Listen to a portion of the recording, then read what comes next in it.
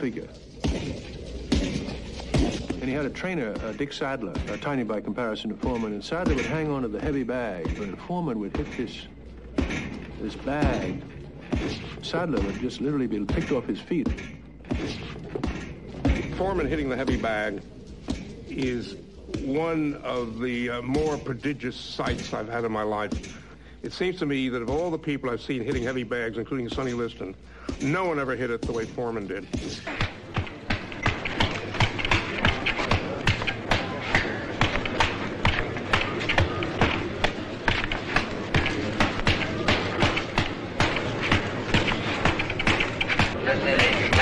Oye! Oye, Daphne, George Foreman! Oye! Oye, Daphne! Oye!